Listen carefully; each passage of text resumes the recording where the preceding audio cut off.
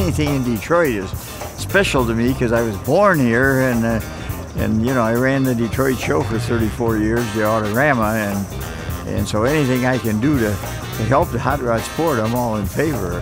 I'm sure it's going to be a, terrific event. I'm looking forward to it.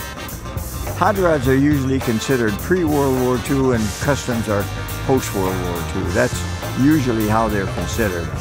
I mean, you're looking at ideas, and that's what it's all about, is ideas. You're always anxious to see what new cars are being built. Somebody said, you know, I, I want to buy this car, but I don't like it exactly like it is, so I want to change it. I want to customize the front. I want to, I want to paint it a wild color. I want to do a custom interior. I want to do whatever. And, and that's what the hot rod sport was all about. You just keep moving forward. You're always learning more and you're always following the trends.